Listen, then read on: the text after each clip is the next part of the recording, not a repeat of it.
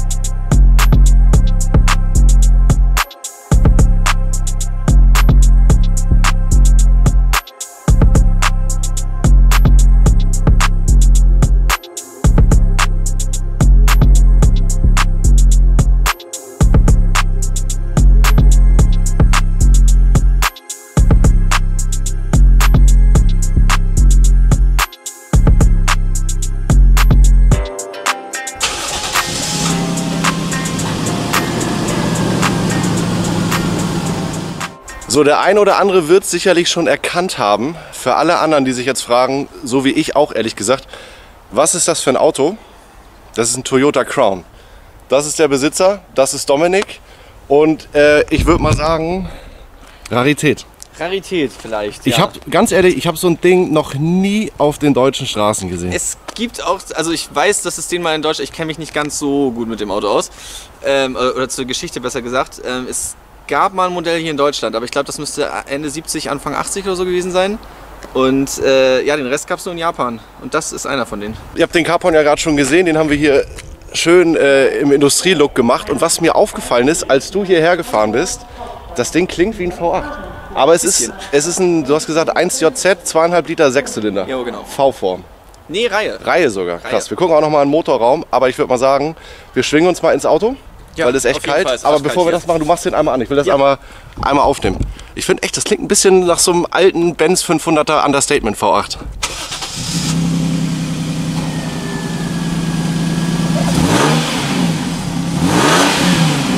Also mal als allererstes hier zum Innenraum. Ähm, was ist das, Velour? Ja. ja. Stoff mit Velour an den Seiten. Oh.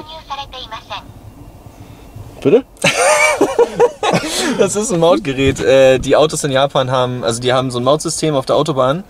Und jedes Mal, wenn du da dran fährst, musst du natürlich Geld bezahlen. So. Ja. Und da die äh, nicht immer da in der Schlange stehen wollen und da lange warten wollen, die wollen immer schnell, schnell, schnell, schnell weiter, äh, haben die halt diese, diese Mautgeräte im Auto. Da steckst du so eine Art Prepaid oder Kreditkarte halt rein. Der hat hier oben irgendwo, müsste das äh, hier umsetzen. Oh, ich, muss, ich muss es einmal zeigen. Ähm, also natürlich logischerweise äh, alles auf Japanisch, aber was zur Hölle ist das für ein abgefahrener Innenspiegel? Äh, den habe ich tatsächlich nachgerüstet, Okay. also den kann man hier so ranklemmen. Okay. Ähm, okay, okay. Ich, ich mag es einfach, wenn man die ganze Heckscheibe sieht. Also es hat jetzt keine... Lila keine, Licht, auch natürlich serienmäßig.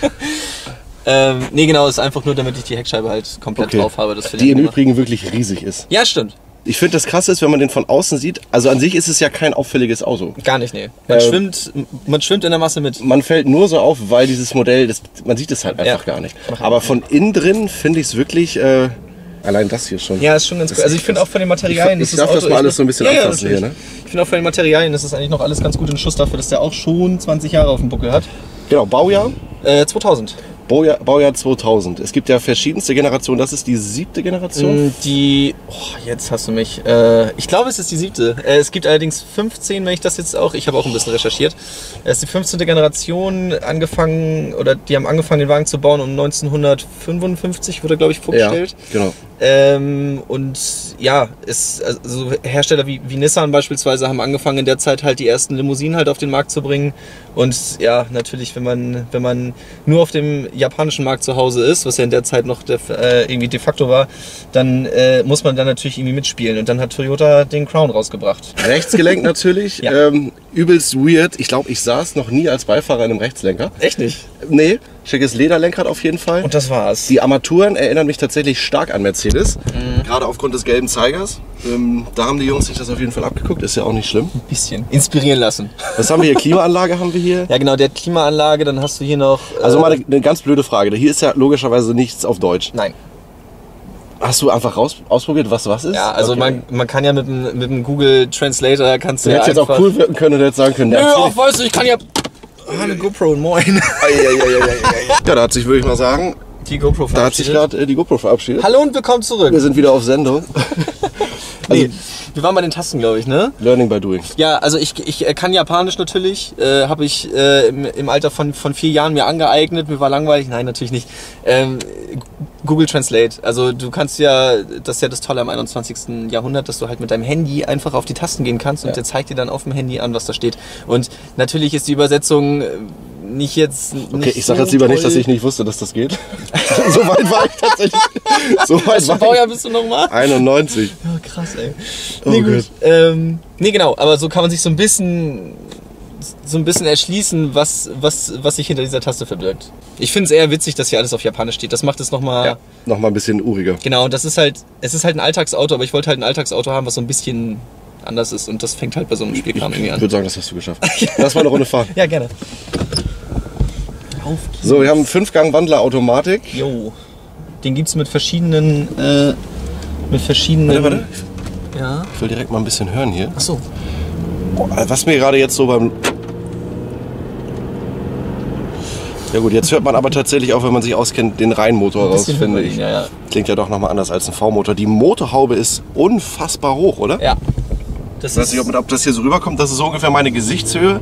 Ähm, auch, ich weiß nicht, wirkt die nur so kurz oder ist die tatsächlich so Die kurz? ist so kurz. Also das Auto sieht von außen zwar sehr. Das heißt, der Reihenmotor geht bis hier oder was? Ja, so ungefähr. Das ist ja doch relativ lang, ne? Nee, ähm, ich, also, das ist, nenne ich so ein bisschen japanische Ingenieurskunst oder die, die Kunst, äh, ein, ein, ein, ein doch kleineres Auto groß wirken zu lassen. Die haben halt stark mit den Proportionen hier gespielt. Also man sieht das an den, wenn man sich den Wagen von außen anguckt, ist er doch eigentlich recht schmal. Also wenn man jetzt mal diese riesen Rückleuchten rauslässt oder den großen Grill oder die großen Scheinwerfer, Ja. ist das Auto eigentlich sehr schmal. Und das äh, ist dem ein bisschen geschuldet, weil Japan ist ja wirklich sehr verwinkelt und sehr schmal alles. Äh, und, und natürlich möchte man so ein bisschen das Statussymbol halt, also für den, das ist ja hier wahrscheinlich auch so, je größer das Auto, desto mehr ist das so ein bisschen erhaben und keine Ahnung was. So war es mal. So war es mal. Gibt auch die letzten ist Zuckungen- die letzten vorbei. Zuckungen gibt's noch. Ja, genau, so. Ähm, und, und um dieses große, große Gefühl des Fahrzeugs irgendwie noch vermitteln zu können, haben sie halt stark mit den Proportionen, wie gerade schon gesagt hat, gespielt, indem sie halt große Rückleuchten verwendet haben, die sehr viel Platz einnehmen, vorne einen großen Grill, so eine Sachen. So, weil wenn man hier drin sitzt, ich finde, so groß ist das Auto eigentlich gar nicht. Ich, würde, ich wollte das Gegenteil behaupten, aber ich denke auch, das ist immer die Frage, was man so gewohnt ist. Ja, stimmt, stimmt. So, also ne, bei meinen Autos wäre halt der 7er so das Vergleichsstück. Mhm. Ansonsten äh, Polo bzw. E36 oder auch W201 damals noch. Ja. Klar, dagegen, also ich finde schon, dass man hier, äh, du bist jetzt auch nicht der Kleinste, ne? Nee. Auch über 1,80, ne? Ja, So, und ich finde da, also Beinfreiheit ist auf jeden Fall top da. Kopffreiheit auch. Und ich glaube auch, dass ich hinten relativ gut sitzen könnte. Ja, doch. So, äh, du bist jetzt ja noch nicht der Erste, der hier mit mir äh, netterweise sein Auto vorstellt. Ja. Aber bis jetzt würde ich mal sagen, gut, wenn man mal den V124 rauslässt, also der, der lange Benz, der vorgestellt Ja. wurde, was ja auch ein absoluter Exot ach, der ist. mit den sechs Türen war das, Genau. ne? Total cooles Auto. Ähm, lieben Gruß an Nick an dieser Stelle, falls du es siehst. Geiler Typ, geile Karre. Das ist ja mal wirklich was. Wo, warum, warum so ein Auto? Wie bist du darauf gekommen? Und dann die Frage, ich glaube nicht, dass das bei irgendeinem VW-Händler als Ankauf zum Verkauf stand, sondern wo hast du das Auto her? Äh, von dem Fähnchenhändler auf der Veddel. Nein, natürlich nicht. äh, nee, das Auto, also ich fange vielleicht vorne an. Ähm, Am besten, ja. Das wäre ganz gut. Ähm, nee, japanische Autos fand ich schon immer irgendwie spannend. Das ist so ein bisschen Gran Turismo und Need for Speed, glaube ich, geschuldet. Auch wenn es immer keiner zugeben mag. Aber ja, Fast Need for and Speed Furious. ist dann doch ein bisschen so ein bisschen Influence gewesen. Ähm, Darf man sagen, wie alt du bist? Ja, ne? Ja, natürlich. Du bist zwei Jahre älter als ich. Also bist du natürlich auch mit diesem ganzen Need for Speed, Underground 1, 2, äh, Fast and Furious und so weiter Generation aufgewachsen. Playstation durch und durch. Genau. Absolut. Ähm, Naja, und wenn man sich ein bisschen mit den Spielen halt auskennt, dann, dann äh, kommt man halt auch schnell. Ja, du, du willst einfach mehr über diese Autos wissen. Was genau, was ist das? Warum gibt es da so komische Sportcoupés vor allem? Jeder kennt Skylines, Supras und Silvias. Äh, Ein unfassbarer Hype, selbst in Deutschland würde ich mal Komplett. sagen, um diese Autos. Ja, total. Und der Markt Astronomische ist auch total Preise. Da. Ja, also denkt man gar nicht, gerade weil viele doch immer vom Rechtslenker zurückschrecken, ist so dieses so, oh, doch ein Skyline, boah, egal. Kann man da spoilern, dass du ähm, noch ein Auto stehen hast? Möchtest du verraten, was das ist? es ist ein Nissan Skyline, ja. Das war Welche Baureihe? äh, R32. Also Leute, falls euch das Video bis jetzt gefällt, Daumen da lassen ist klar und schreibt mal in die Kommentare, falls ihr Bock habt, dass der liebe Dominik auch dieses Auto für euch und für uns äh, alle nochmal präsentiert. Wer weiß, was passiert. Also du hattest immer schon Interesse an JDM und den Autos. Ja. Das aber natürlich sorgt noch nicht dafür, dass wir hier sitzen. Nein, gar nicht. Ähm, also wie gesagt, viel, viel rumprobiert, viel geguckt, was geht so auf dem Markt, was gibt es für lustige Autos, was kann man für wenig Geld kaufen vor allem. Und ähm, ich wollte, also neben dem Nissan wollte ich halt gerne trotzdem diesen, diesen Japan-Flair irgendwie haben. Also dass alles so ein bisschen anders ist. Also natürlich, ich hätte mir auch einen, einen E39 beispielsweise kaufen können oder eine alte E-Klasse. Ich wollte halt gerne trotzdem irgendwie da bleiben, wo ich herkomme. Das wird sich bescheuert, oder? Aber nee, deinem, deinem Spirit treu bleiben. Ja, genau so. Und ich finde halt, ich finde halt, also Autofahren ist für mich nicht nur, ah, ich muss jetzt zum Einkaufen von Punkt A nach Punkt B fahren, sondern ich, ich mag Autofahren unwahrscheinlich gerne. Jeder Kilometer ist für mich ein Gewinn irgendwie, weil Der Weg noch ist das Ziel Ja, und je total. nachdem welches Auto Komplett. ist, ist der Weg noch viel schöner. komplett Gott, wie schmalzig. so, ah, so romantisch fast. Nee, also ich wollte halt, also klar, ich hätte mir auch einen E39 oder einen, einen gleichwertigen Mercedes kaufen können, aber ich wollte dann doch irgendwie trotzdem auch im Alltag dieses Spezielle irgendwie haben. Dieses so, dass die Tasten halt komisch aussehen, dass das Lenkrad auf der falschen Seite ist. Aber ich schätze dich so ein, dass es nicht um die Außenwirkung geht, sondern eher so für dich. Komplett Drin, gar oder? nicht. Nee, die Außenwirkung. Also das, klar, das ist immer leichter gesagt als getan, aber die Außenwirkung, auch wenn das in der heutigen Generation wahrscheinlich oder in der heutigen Zeit komplett wichtig ist, wie toll du im Internet aussiehst, mir ist es egal. Also ich, ich mach's für mich, ich mach's nicht für andere. Und wenn ich's für andere machen müsste oder wollte, dann müsste ich einen GTR fahren und würde nicht so einen, so einen, so einen komischen, halbgaren, große Toyota-Limo fahren, sondern würde halt irgendein anderes großes Auto. Mir, nee, mir ein, mir ein AMG leasen. So, das ist doch gerade en vogue, oder nicht? Keine Ahnung. Also, Hast du jetzt gesagt? Ja, sorry. Das, Alles äh, gut. Ein Kumpel von mir, der, der hat halt ganz lange Autos importiert aus Japan und äh, so war der Weg halt nicht weit, immer mal wieder Okay. auf andere Autos zu kommen. Ja. Oder weil der natürlich immer sehr viele verschiedene Modelle da hat, von Sportwagen über Limousinen, äh, über Geländewagen und so weiter und so fort. Oder auch Reimporte. Also ich kenne das so, dass äh, einige, ich weiß ja, ich weiß ja genau, was ihr für Videos seht, wenn ihr meinen Kanal guckt. Ihr guckt ja auch die Videos von Hagen Amstep, ich ja auch. Und da hat man das mal gesehen, wie der auf so einer Online-Plattform unterwegs war. Ich Ja. weiß nicht, schaust du die Videos auch? Äh, ich habe mir zwei, drei Videos von ihm angeguckt, finde ich auch ganz lustig, ehrlich gesagt. Der hat sich mal einen W2 221, eine S-Klasse geholt, Ja. auch über so ein Japan-Import-Portal. Und das hat Ewigkeiten gedauert. Wie läuft das ab? Also du hast es über einen Kumpel gemacht, der zeigt dir eine Liste an Autos oder wie ist das? Ja, nee, also der hat Zugriff auf die Auktionen in Japan. Also Mhm. Autos werden, wie gesagt, in Japan muss immer alles schnell, schnell, schnell, schnell, schnell gehen. Und so werden halt auch Autos äh, über Auktionen ganz häufig verkauft. Und diese Auktion, das muss man sich vorstellen, das ist wie so ein, also für uns einsichtig ist es halt ein großes Internetportal, wo du halt Tage vorher sehen kannst, welche Autos durch die Auktion halt durchrattern. Und da ist dann alles dabei, von kleinen äh, K-Cars, das ist eine kleinen, kleinen Fahrzeuggruppierung in Japan, bis hin zu Bussen. K-Cars? Es gibt auch eine Musikrichtung da, K-Pop oder wie das Pop, heißt. Ja, aber das ist koreanisch, glaube ich. Okay, jetzt wollte ich einmal mit Fachwissen, Fachwissen glänzen. Darüber, über so ein Portal haben wir dieses Auto hier erstanden. Seit wann hast du den jetzt? Äh, bisschen über ein Jahr habe ich den Wagen jetzt. Okay, darf man dich fragen, was sowas kostet? Ich will erst mal raten. Ja, bitte. Verrätst du es? Ich verrate Okay, pass auf. Mir ist das egal. Ich würde mal sagen, der hat 185 gelaufen. Wie viel der Hand? oh, das weiß man leider nicht. Okay, das kriegst du nicht raus. Manchmal aber kriegt man es raus. ich, ich, ich glaube, es ist nicht so teuer, wie man denkt. Ich sage jetzt, gespannt. ich sage jetzt mal, ich sag mal zwischen 3.000 und 6.000 Euro. Rohpreis in Japan meinst du? Also Nein, das was. Oh, hier ist gleich Polizeikontrolle. Moin. Also das, was du für das Auto inklusive der ganzen Zollgeschichte bezahlt hast. Mhm. ähm, fast. Nach oben oder nach unten? Nach oben logischerweise, ne? Ein bisschen über drei. Nein. Also der Wagen hat mit, bis er wirklich Okay, was hat der Wagen an sich gekostet? Ohne Zoll und. Das ist schon fast peinlich. Ich, mich interessiert es wirklich. Also wenn du es nicht sagen möchtest, okay. doch, doch, doch, auf jeden Fall, weil es schon fast schockierend ist. Du hast, äh, also es gab eine Zeit, wo du für so ein Auto hier 300 Euro bezahlt hast. In Japan auf den Auktionen. in einem vergleichbaren Zustand. Der hat 300 Euro gekostet. Auf den Auktionen. Der wurde für 300 Euro ersteigert. Ernsthaft jetzt? Ja, kein Scheiß. Aber das heißt, der, das ganze Klimbim von Auto hier äh, in Container, Schiff rüber, äh, Hamburger Hafen, Zoll, die ganzen Quatsch, drei Mille. Genau. Also ja, 3, 3, 5 irgendwie so den Aber Dreh. überleg das mal im Verhältnis. Dieses Auto für 300 Euro. Und, und das war mit einer der Gründe, was, also, was es noch viel mehr gerechtfertigt hat, ein Auto aus Japan zu importieren, weil klar, du kannst das, da- das dürfen wir keinem erzählen.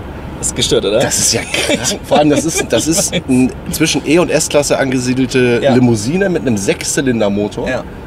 In einem Ex, also ich würde mal sagen, innen drin in einem Top-Zustand. Ja. Gut außen, klar, ein, zwei Kleinigkeiten, aber, aber überhaupt nicht viel. 300 Euro. Ey. ist gestört, ich weiß. Junge, ich habe für meinen Polo 1200 bezahlt. Ja, Überleg mal. Ich weiß. Klar, ich kann mir auch für dreieinhalb mir irgendwie einen E39 angucken, aber der ist dann halt scheiße. Also der ist dann halt runtergerockt, hat Rost überall, richtige Autobahnhure. Schockt halt nicht, ne? Vor allem das Geile ist ja, du steigst ja ein und der redet ein Asiate mit dir. Für Auch cool, 300 oder? Euro. Für 300 Euro ist okay, ist oder? krank. Aber da Also seht die- ihr mal, dass das hier wirklich echt ist. Also ich, ich will es bewusst immer vorher nicht wissen, weil ich, ich finde es immer schön authentisch, äh, dass man das zusammen erfährt letztendlich. 200 Euro, Junge, Junge. Gestört, ja. Ich sehe gerade hier vorne links, ja, meine alte Schule. Wollen wir da mal kurz anhalten und mal so, na, Bestandsauf, es regnet gerade auch nicht, Ja, selten, äh, hier bei uns, dass wir da mal so eine kleine Bestandsaufnahme machen. Ich glaube, der lässt sich vor. Ich glaube, der lässt sich vor. Opa Schorsch, danke. Ja, moin. Hier, guckt. Scha schauen wir uns das Ding mal von außen äh, und auch von innen an. Jo. Ach, was ist das herrlich. Ich würde mal sagen, Wetter und Ort und Stimmung passen zusammen. Das, liebe Leute, hier ist meine alte Schule. Gott, oh Gott. Ich glaube, das, ich glaub, das habe ich tatsächlich noch nie öffentlich erwähnt oder thematisiert. Ich habe diesen Laden abgrundtief gehasst. Also ich habe mich mit den Lehrern eigentlich größtenteils gut verstanden, aber ich bin kein Schulkind gewesen. Äh, meine Eltern wissen Bescheid, das war immer lustig mit mir. Äh, lieben Gruß in dem Sinne, die gucken das ja auch. Hallo, äh, war toll. YouTube-Videos, scheiße. Jetzt, jetzt mache ich YouTube-Videos, verdammt. Aus dem Jungen ist nichts geworden. So, das ist das Ding von außen. Und das erste, oder was heißt das erste, ist auch gelogen, was sofort aufgefallen ist, finde ich, sind diese. Na, es- Blinker sind es ja nicht, oder? Nee, es sind äh, Positionsleuchten. Damit du beim Einparken, weil das Auto kein PDC hat, vorne erkennst, wo das Ende ist. Was, sein, ja. was der. So würde ich das mal vermuten. Ja, ähm, ich glaube, also diese Positionsleuchten werden wahrscheinlich zum Einparken sein und auch so ein bisschen, um das Auto vielleicht einschätzen zu können, weil Japan hat natürlich sehr viele enge Straßen. Da bist du mit so einem Ding eh falsch unterwegs eigentlich, ne? Das Auto hat tatsächlich einen ganz schön kleinen Wendekreis. Also dafür, dass er so groß ist, den kannst du ziemlich gut zirkeln. Das, was der vorne hat, hat ja zum Beispiel der Mercedes W140, die S-Klasse hinten. Ich finde auch hinten macht es ehrlich gesagt ein bisschen mehr Sinn, weil man ja doch nach vorne raus meistens noch ein bisschen besser abschätzen kann, wie lang das Auto ist. Aber gut, ähm, so viel dazu. Fällt sofort auf, dass du halt vorne kein Toyota-Emblem hast, sondern du hast, äh, ja, kennst du die Bedeutung von dem oder? Gar nicht, nee. Also ich glaube, in Japan ist es so ein bisschen. Ich, ich glaube zu vermuten oder vermuten zu können, dass, dass halt so ein Auto früher vielleicht für den Abteilungsleiter oder den, den äh, Storebesitzer, keine Ahnung was, irgendwann so ein, so ein Ding war, oh, das gönne ich mir jetzt. So wie bei uns, wenn man sich einen 124er früher gekauft hat, dann war es so, oh geil, jetzt, jetzt lasse ich mir den Benz raus. Äh, Vielleicht, wenn ich mal ganz blöd dazwischen Ja. kann, auch wie bei Mercedes und Maybach. Das ist ja an sich Auch, dieselbe ja, ja, Karosse, genau. du hast nur dieses Maybach-Emblem drin. Ja. So, schauen wir mal weiter. An sich, ähm, von außen ja wirklich, ich will dein Auto jetzt nicht beleidigen. Ich finde tatsächlich, die, mit, der, mit der Stoßstange vorne sieht es sportlich aus. Ja. Wenn man die jetzt aber mal weglässt, relativ biederes Auto. Und jetzt, wo ich so weit hinten stehe, ähm, ich sehe tatsächlich ein paar Parallelen von der Linienführung zum 140er oder 220er. Finde ich persönlich, aber gut, das ist auch Geschmackssache. Wenn man sich das jetzt mal anschaut, von hinten, das ist ja schon relativ eine Coupé-artige Linie, Ja. finde ich. Also mit dem, die riesige Heckscheibe. es. Das ist schon echt Wahnsinn. Das ist jetzt ein 2,5 Liter äh, Sechszylinder Sauger Genau. mit Mit 200, 200 PS. 200 PS. Was auch 2000 nicht wenig war, ne? Nö, und für den Alltag ist super. Also nicht zu viel, nicht zu wenig funktioniert. So Heck an sich, es macht schon was her. Also das ganze Auto wirkt jetzt nicht so, als wenn man äh, durch Japan fährt und kein Geld hat. So möchte ich das mal behaupten. Nee, genau. Und ich glaube, das sollte auch so ein bisschen das äh, halt erzielen, dass ein, eine große Limousine erschwinglich für jeden ist. Mach mal vorne den Deckel auf. Ja. Äh, ich denke, euch interessiert das auch, wie das da vorne aussieht. Toyota, ach ja, stimmt, du musst ja gar nicht da rein, du musst ja da rein. Hallo. Ist das ungewohnt. Hast, du hast ja schon ein paar Videos gesehen. Ja. Ähm, ich frage ja irgendwann ab einem gewissen Punkt immer, darf ich fahren? So, das wü- würde ich dich natürlich auch gern äh, fragen, weil da bin ich echt heiß drauf. Mein erstes Mal Rechtslenker wäre das. Wie ist das? Darf ich Kannst fahren? du lieben gerne machen. Kann ich machen? Problem. Ja, natürlich. Ach, geil, ey. Kein Stress. So, Motor ist von Toyota. Genau. Motor ist von Toyota 600. Der ist aber echt ziemlich weit nach hinten gezogen, ne? Ja. Wenn man mal guckt. Ja, hier kannst du ja nicht noch einen Zylinder platzieren, theoretisch. Gab es die auch mit 4 bzw. 8 Zylindermotoren? Äh, es gab den Crown Majesta, das ist nochmal, da sind wir wieder bei denen, es gab Limos für jedermann. Äh, der Crown Majesta ist nochmal ein höher, basiert auf dem, auf dem gleichen Chassis, aber die Karosse ist halt ein bisschen anders. Und äh, der hat einen V8. Krass. Ja. Auch von Toyota? Auch von Toyota, ja. Gut, muss ich mich auch nicht, ich wusste gar nicht, dass die V8 gebaut haben. ja Aber unfassbar kleine. Batterie, oder? Äh, Finde ich. ja, aber haben die generell immer. also beim Nissan ist die auch so, so ein kleines süßes Paket. Ja, gut, spart Geld, ne? Spart Geld. So, wenn man jetzt mal schaut, irgendwelche Besonderheiten, ähm, das sieht nach einem Edelstahlkrümmer aus. Ja, der ist halt original. Also es ist nichts an dem Auto verändert, bis auf die Rückleuchten. Äh, aber Standard einen Edelstahlkrümmer zu haben, ist schon ganz cool. Ja, Kann man sich auf die Fahne schreiben, ne? Ansonsten sieht er auf jeden Fall sehr trocken aus. Ja, die Ventildeckeldichtung musste ich tatsächlich Hast du- wechseln. hast du Das schon ist, gemacht? Äh, Okay. Klassiker bei den Autos, die siffen immer ganz schön. Ja gut, da gibt es ja einige Motoren, bei denen das so ist. Ja. Aber ansonsten, ja, also ganz ehrlich, 300 Euro hätte man jetzt einen schlechteren Zustand. Könnte man äh, mit, mit kaputten Dom rechnen zum Beispiel. Wir müssen aufhören, auf den 300 Euro rumzuhacken. Ähm, Du sagst, ich darf fahren. Ich bin aufgeregt. Äh, wollen wir das machen? Traust du dich? Ich, ja, schon. Rechtslenker habe ich noch nie gemacht, Leute. Das ist Wahnsinn. ich bin echt aufgeregt. Oh Mann, ey, ja, komm. Dann mal los. Boah, ist das abgefahren, ey. Kannst du noch weiter nach vorne, ne? Ne, alles gut. So, ich mach mal an den Bock, ne? Ja. ey, ist das crazy. Ich muss echt überlegen. Äh, Handbremse? Hat er nicht. Also doch, hat er, aber die ist wie beim Mercedes zum Treten. Also, ich, ich glaube. ist das geil? Ey, das ist ja. Oh, ich habe auch echt Schiss, dass ich irgendwo gegenfahre. Ne? Ach Quatsch. Ähm, ich bin noch, nee, ich bin noch nie Rechtslenker gefahren. Ich glaube, mitgefahren bin ich mal irgendwo, glaube ich. Alter, ist das abgefahren. Ich- Kannst ausschlagen. Boah, Junge. Schreibt mal in die Kommentare, ob ihr das schon mal gemacht habt. Und ob ihr euch genauso dämlich angestellt habt. Alter Verwalter. Das Ich einzige, wollte schon wieder. man muss sich glaube ich ein bisschen nur, äh, also beim Fahren ein Boah, bisschen am äh, Randstein orientieren, das war's dann eigentlich. Also Das sonst. ist. Ach so, ein Blinker ist Ach rechts. so, ja. Okay. Ähm, boah, ist das abgefahren, Alter. Richtig Fahrschule hier. Fahren Sie bitte rechts. Ich habe tatsächlich auch hier in Bad Oldesloe Fahrschule gemacht. Ja, ich auch Äh, bei Lippert hier vorne. Ich bei Kleber. Schön, ist übrigens keine Werbung. Ey, das ist ein schweres Auto, ne? Ja. Ich gerade. 1,8 Tonnen oder so? Ja, bestimmt? circa. Ich glaube 1,87 oder irgendwie so. Das merkst du aber. Alter, der Blinker war links oder rechts? Äh, rechts. Alter, ist das abgefahren, Alter. Musst ein bisschen rechts sich halten. Boah, ist das abgefahren, ey. Alter, ist das abgefahren. Sorry, Leute, wenn ich jetzt nicht so viel am Schnacken bin. Alter, ist das crazy. Boah, Junge, ist das abgefahren, ey. Du bist halt auch so gewöhnt, dich automatisch weiter links zu orientieren, weil du halt Nicht in den Kannstein fahren willst. Und Ja. hier musst du dich eher weiter rechts orientieren. Also im Zweifel immer zu weit rechts fahren eigentlich. Also so ist ja alles cool, aber ich kann halt auch die Ausmaße von dem Auto nach links überhaupt Ja. nicht. Hält der da auch noch so? Komme ich da vorbei? Ja klar, musst Ja? ein bisschen rechts fahren. Kleines Ja? bisschen nach rechts. Ja, wirklich? so, alles passt. Jo. Meine Freundin fährt auch Rechtslenker. Was? Äh, ja. Ey, Und- ich wollte gerade schon sagen, also erstmal der Wagen schaltet ultra sauber. Ja, ich voll. vorbei. Du sagst, du schreist, ne? Ich Ja, ja, ich, ich, eine Macke ich reinfahren. pöbel. Ähm, du hast, also, ne, ich finde ich echt sympathisch, deswegen sage ich dir das auch, du hast völlig einen an der Klatsche. Aber deine Freundin fährt Rechtslenker. Ja. Verzeih mir diese Frage, ist deine Freundin Asiatin? Nein, ist sie nicht. Die ist Ah, die äh, teilt auch die nördlich wir. Hobby. Nee, auch nicht. Also sie hat so eine gesunde Distanz dazu, äh, findet aber Autos trotzdem schön. Und die fährt einen Rechtslenker. Ja, also den, den machen wir jetzt gerade fertig, sodass sie den ab März fahren, also wirklich fahren kann. Es soll jetzt hier nichts äh, Frauenfeindliches sein. Äh, meine Freundin fährt nicht mal ein handgeschaltetes Auto. Warum fährt deine Freundin Rechtslenker? Ähm, weil ah, wir haben uns lange, lange drüber, also sie, sie mag alte Autos generell, das ist so ein bisschen familiär cool. auch bedingt. Sollte es viel mehr Frauen von geben. Absolut, ähm, damit das Verständnis auch vielleicht mal ein bisschen für uns Quatschköpfe da ist. Hm, ne?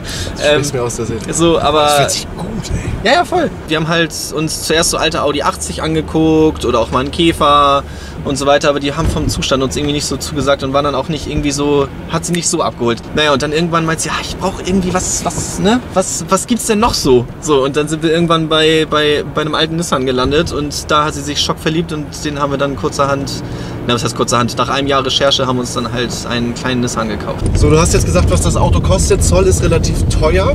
Blinker war rechts, ne? Mhm. Blinker war rechts. Aber an sich, also ans Fahren, habe ich mich schon ein bisschen dran gewöhnt. Ja, man merkt's auch. ähm, ist ja so der Klassiker, äh, japanische Ersatzteile sind ja relativ schwierig zu bekommen. Wie sind da so deine Erfahrungen? Ähm, jein, also es kommt darauf an, was, was genau du suchst. Klar, eine, eine Frontscheibe für so ein Auto zu kriegen, da will ich gar nicht drüber nachdenken jetzt gerade. Ähm, bisschen rechts, bisschen rechts.